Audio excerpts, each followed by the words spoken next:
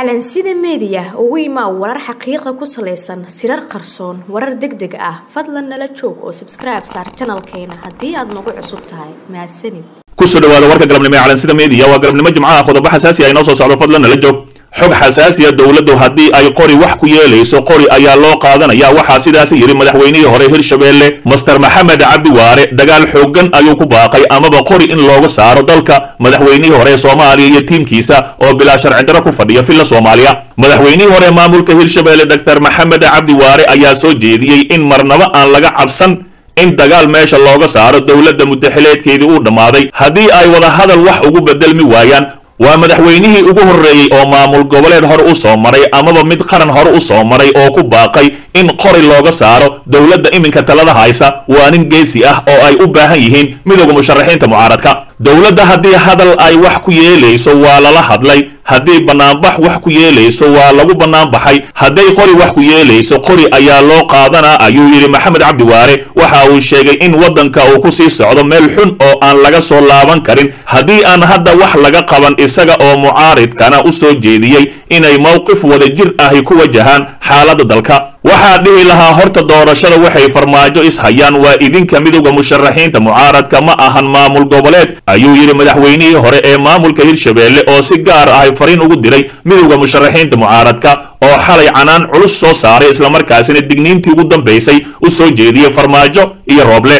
Waxa uu intaasi ku sii daray in ra'iisul wasaaraha lagaga adkaaday awoodda dowladda islamarkaasina ay hadda la gudboon tahay in uu ka shaqeeyo doorasho dhexdhexaad ahi oo lagu wada kalsoonaan karo hadalkani ayaa imaanaya xilli ay midowda musharaxiinta mucaaradka kal hore qaadaceen sida ay u socdaan doorashada. Kadib markii kuraas ka mid ahay doorashada golaha shacabka loo maray hanaan ka duwan midkii lagu heshiiyey waana doorashadii ugu musuq maasuqa badneed taariikhda afrika. Mucaaridka ayaa maalmihii u dambeeyey magaalada muqdisho ka waday kulamo looga arrinsanayo xaaladda dalka iyo arrimaha doorashooyinka. Kadib markii ay ku milmeen doorashada socota mid boob ah iyo mid awood sheegasho ahi xalay ayay waraaqadii u dambaysa soo saareen. Midowda musharaxiinta mucaaradka si kastaba ha ahaatee waa madaxweynihii ugu horreeyey oo geesinimo muujiyey islamarkaasina sheegay farmaajo wax kasta waa looga quustay. Ee iminka haddii uu qoray ku baxayo qoryaha ha loo qaato. Dhinaca kale xiisad dagaal oo ka taagan qaybo ka mid ahay galgaduud. Xiisad u dhexayso laba maleeshiya beelood ee wadadega gobolka galgaduud. Ayaa maanta waxa ay ka taagan tahay deegaanka turbi ee hoos tagta degmada balanballe ee gobolka galgaduud shalay deegaankaasi waxaa ka dhacay dagaal socday dhowr saacadood oo dhex maray labada maleeshiya beelood kuwaasi oo markii dambe si iskiisa u istaagay. Sida ay dadka deegaanka u sheegeen waxaa dagaalkii shalay ku dhintay saddex ruux halka laba kalena ay ku dhaawacmeen kuwaas oo ka kala tirsanaa maleeshiyaadka iska soo horjeeday. Wararkii ugu dambeeyey ee laga helayo duleedka degmada balanballe ayaa sheegaya in dhinacyada dagaalamayay ay weli is-hor fadhiyaan islamarkaasina laga cabsi qabo in ay mar kale dagaalamaan. Dadka deegaanka ayaa warbaahinta u sheegay in maleeshiyaadka dagaalamay ay kala helayaan gurmadyo gooni gooni ah. Arrintaasi ayay sheegeen in ay cabsi badan ku abuurtay dadka shacabka ee halkaasi degan ma jirto weli wax war ah oo ka soo baxay dowladda federaalk soomaaliya iyo maamulka galmudug oo hogaamiye axmed kaariyo qoorqoor kaasi oo ku aadan in ay faahfaahin ka bixiyaan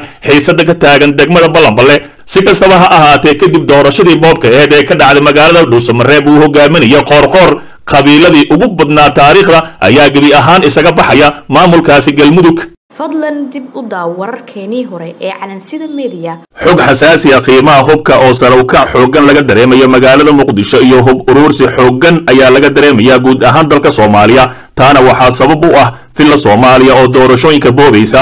Qiimaha kala iibsiga hubka ayaa sarawkac xoog leh laga dareemayaa gudaha magaalada muqdisho. Waxaa kale oo kordhay dhaqdhaqaaqa dallaalada hubka iibka kala wareejinta iyo arrimo la xidhiidha xog ururin laga sameeyey suuqyada hubka ee muqdisho waxaa ku cad in qoryaha qaar uu qiimahoodu kordhay boqolkiiba boqol sideedii bil ee ugu dambaysay taasi oo muujinaysa sida dhaqdhaqaaqu yahay mid ka mid ahi kuwa hubka iibiya oo magaciisa cama lagu soo koobay sababo amni awgeed ayaa waxa uu leeyahay. Waxaa batay qoryaha laga iibinayo siyaasiyiinta iyo dad caadi ah waa naga iibsadaan diyaargarow xooggan ayaa jira ma ogi sababta ayuu yidhi. Mar la weydiiyey goorta ay qiimaha kordheen ayuu yidhi. Abriil markii dagaalkii dhacay ee magaalada muqdisho ayuu soo xoogganaaday dadka ishubaynaya iyo siyaasiyiinta hubka gadanaya ayuu yidhi abriil waxaa dhacay muddo kordhintii madaxweynaha wakhtigii ka dhacay maxamed cabdilaahi farmaajo. Taasi oo magaalada muqdisho martigelisay dagaal xooggan. Ganacsatada hubka ayaa sheegay in uu jiro hub uruursi xooggan uuna kala badan yahay dalabka iyo hubka suuqa yaalla ayaga oo intaasi raaciyey in aanay tan oo kala dhicin wixii ka dambeeyey laba kun iyo sagaalkii haddaba aan eegno isbeddelka qiimaha qoryaha ak foodisada nuuca kuuriyaanka halkii uu ka ahaa siddeed boqol hadda waxa uu suuqa ka marayaa kun iyo boqol dollar. Ak foodisada nuuca qarshoole halkii uu ahaa kun hadda waxa uu qiimihiisa gaaray kun iyo toddoba boqol oo dollar. Qoriga b k m waxa uu qiimihiisu ahaa sagaal kun oo dollar hadda waxa uu suuqa ka joogaa toban iyo saddex kun oo dollar qoriga dhashiike dabamalaay halkii uu ka ahaa siddeed kun oo dollar waxa uu hadda marayaa toban iyo toddoba kun oo dollar. Qoriga dhashiika daboolyare oo qiimihiisu ahaa siddeed kun hadda waxa uu gaaray shan iyo toban kun oo dollar qoriga sabanka halkii uu qiimihiisu ahaa kun dollar waxa uu hadda gaaray kun iyo lix boqol oo dollar.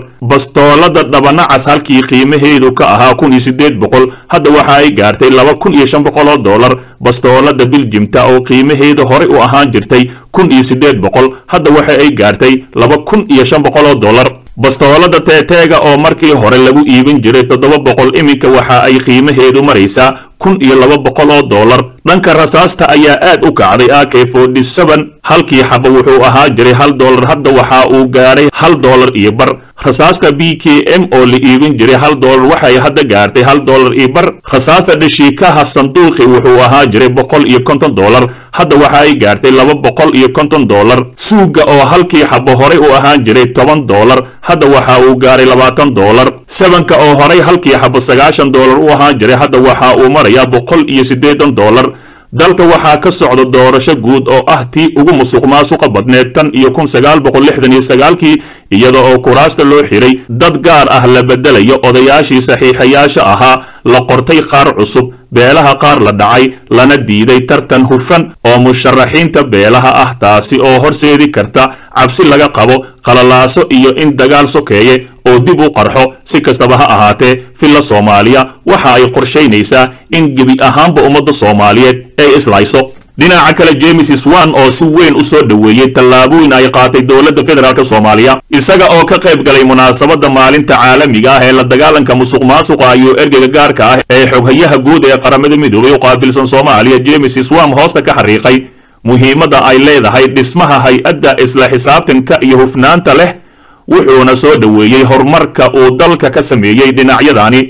musuq maasuqa wuxuu caqabad weyn ku yahay horumarka. Wuxuu wiiqaa dadaalada ku aadan dowlad dhiska nabadda iyo dib u heshiisiinta. Sidoo kale wuxuu wiiqayaa kalsoonida shacabka wuxuuna wiiqayaa hay'adaha dawliga ah iyo awoodooda ay ugu adeegayaan shacabka soomaaliyeed ayuu yidhi master swam iyadoo taa la eegaya qaramada midoobay waxaa dhiirageliyey ku biirista soomaaliya ay dhowaan ku biirtay axdiga qaramada midoobay ee ka hortagga musuq maasuqa ayuu raaciyey tani waa tallaabo muhiim ahay oo horey loo qaaday. Axdiga qaramada midoobay ee ka dhanka ah musuq maasuqa u n c a c oo ay soomaaliya ka noqotay xubin dowladeed kow iyo tobankii agoosto laba kun iyo kow iyo labaatanka waa aalad caalami ah oo muhiim ahay oo lagu joogteeyo laguna maareeyo laguna socdo dagaalka waddamada ee ka dhanka ah musuq maasuqa waa aalada keliya ee si sharci ahay ugu xidhan adduunka ee la dagaalanka musuq maasuqa xilli dowladda federaalk soomaaliya kaalinta koowaad ee cariirsatay sannadkii afaraad.